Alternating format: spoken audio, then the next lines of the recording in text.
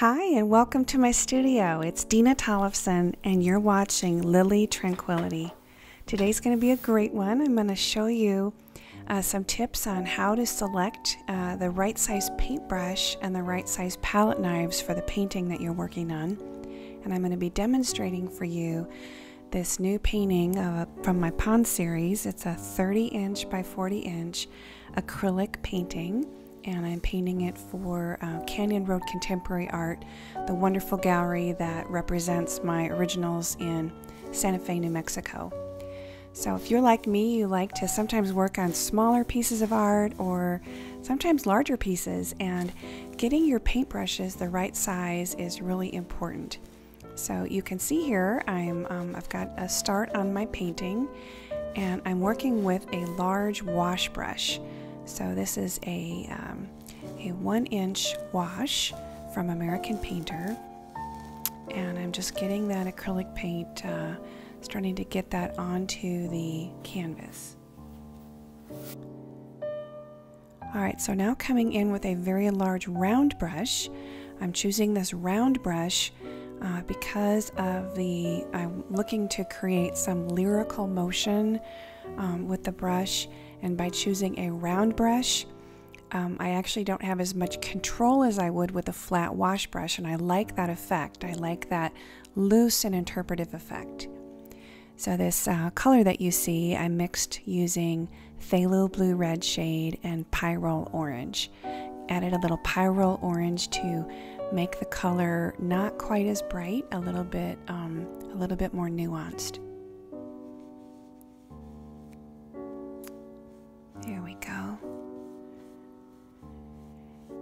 Also, um, when I'm putting the strokes of paint on, I'm trying to avoid um, the what we call petting the canvas or licking the canvas. I'm trying to put the paint down once and then walk away. So trying to do one stroke and then and then um, go walk away from it to keep the energy in the painting and to keep the feeling of um, freshness to the work.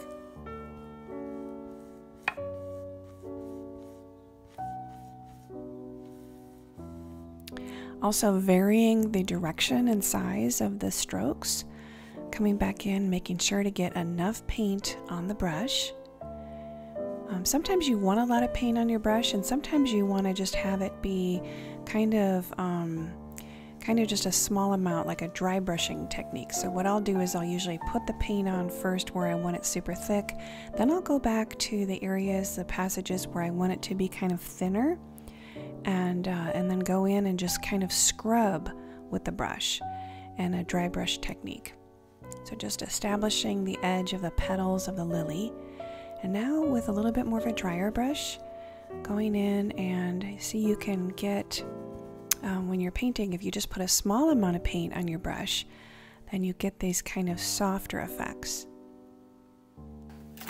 So here are the paints that I'm using, and I recommend, I'm using Golden. I like that brand a lot. There are a lot of good brands out there. Um, I've got, uh, you can see the spoons and the palette knives I'll be using later for the technique, the Daubism technique, and then these very large brushes.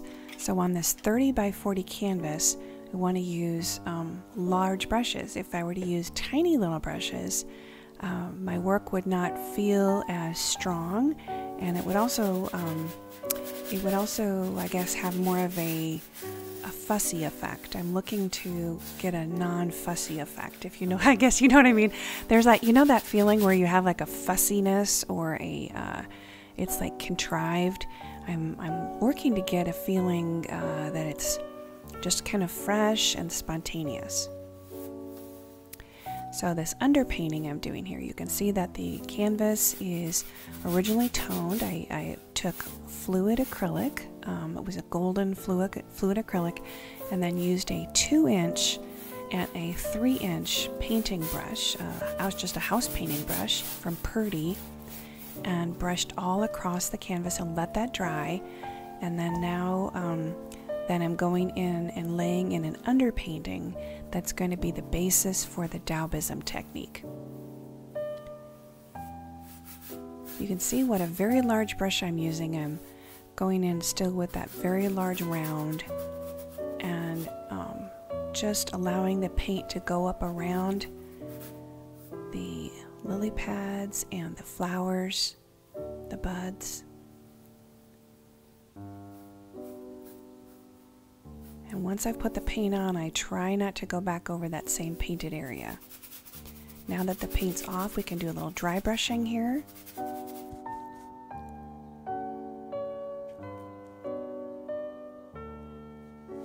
This kind of purple color that you see uh, is ultramarine blue with a, a little bit of dioxazine blue and a small amount of pyrrole orange. The addition of the orange will bring the color saturation down and make it uh, again more nuanced. Alright, so let's come in here with some phthalo blue red shade and yellow ochre and a little bit of titanium white. Again, this very large brush just going up and touching the tops of the flower. Trying to use as few strokes as possible to describe the work.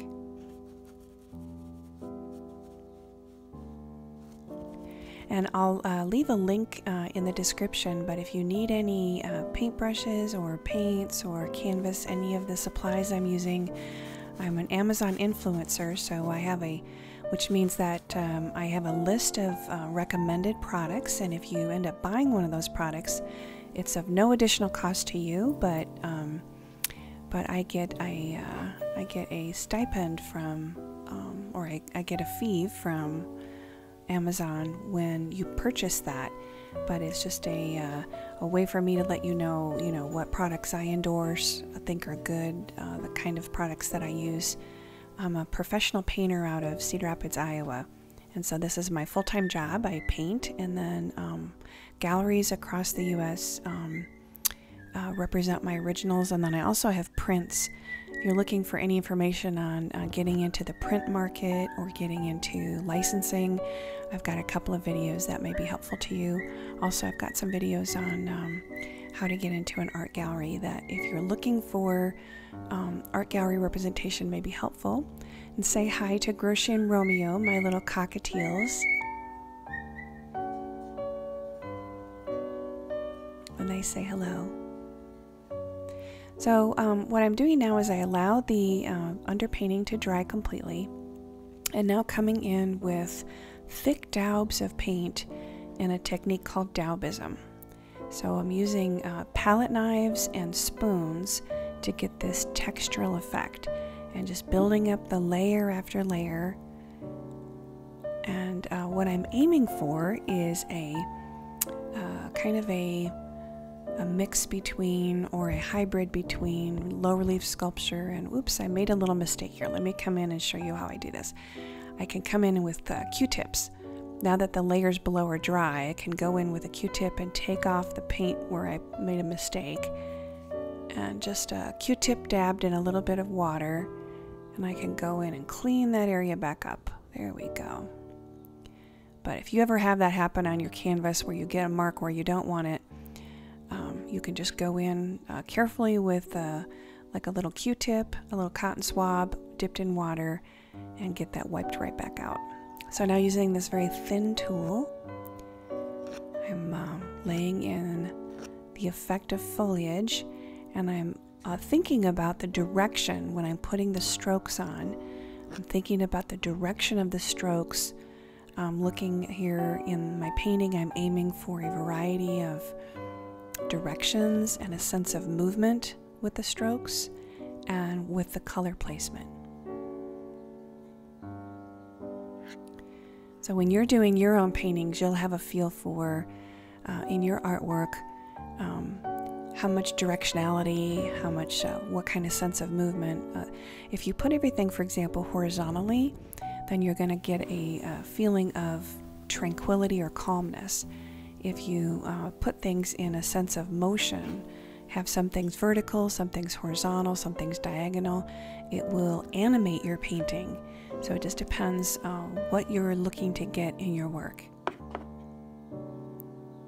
So now coming in with the spoon, the spoon can give an effect that palette knives, um, I have a hard time getting with palette knives. I like the effect of the spoon It uh, makes these wonderful, kind of luscious forms.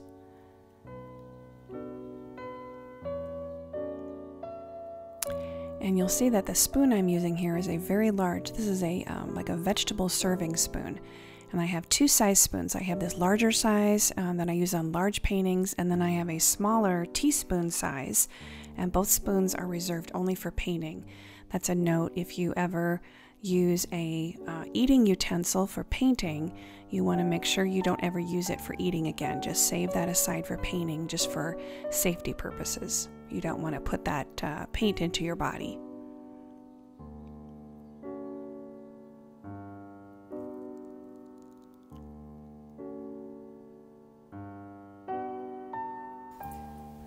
All right, so now just uh, I'm also thinking here about balancing the energy across the painting, and by balancing the energy, I mean that I'm um, trying to get it so that you could turn the canvas in any direction and still get a feeling of uh, boldness and energy no matter how you're rotating the canvas to try and have all quadrants have a similar feeling of balance. So this color here is just um, black, Mars black, and titanium white. And I am uh, working to add a lot of neutrals into the painting. So you can see I've got some bright colors here. And in order to balance those brights, I'm putting in a lot of neutrals. Like uh, if you think about if you put an outfit together, you might have khaki pants or khaki skirt, khaki jacket with a brightly colored shirt. It's that kind of idea. You don't want to be head to toe shirt, pants, and shoes all in one, you know, all in super bright colors. You usually like to add a little bit of neutral. It's that same principle here. By putting neutral colors in next to brights, um, then that can make the bright colors really sing, and then the painting will feel um, more balanced.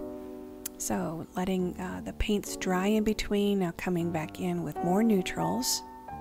And I'm using a smaller knife I'm trying to get a feeling of um, larger dabs of paint, smaller dabs of paint, to get the feeling of uh, what it's really like inside the pond, where the there are animals and there's sunlight and there are plants growing, insects, and a lot of sounds and excitement.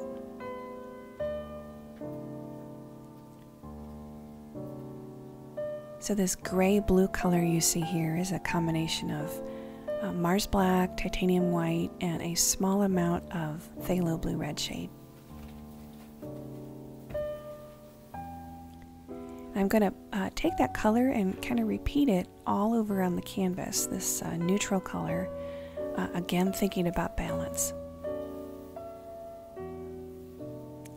Now adding some titanium white to that color can make a lighter, brighter version, and that will be up in the area with light.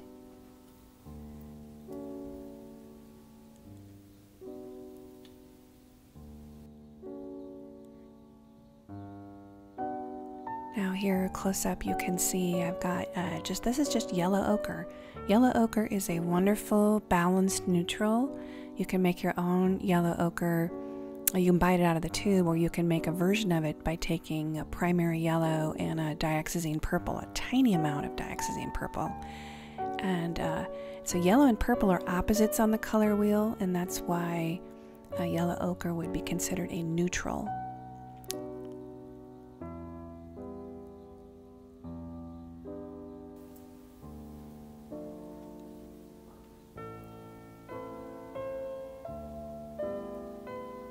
Some more of this very light gray, adding in some olive green. And the olive green I uh, mixed with uh, Mars Black and a little bit of, or a little bit of Mars Black and a lot of primary yellow.